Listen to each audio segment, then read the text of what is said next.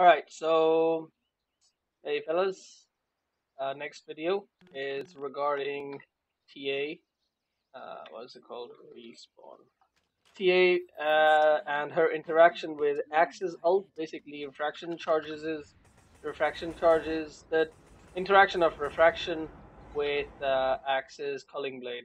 So what we want to know is whether or not she's going to die instantly or whether whether the um, uh, culling blade is going to be wasted on one of her refraction charges. So let's see if, if it works. I personally think she's going to die instantly, and boom, it's an instant death. Yep.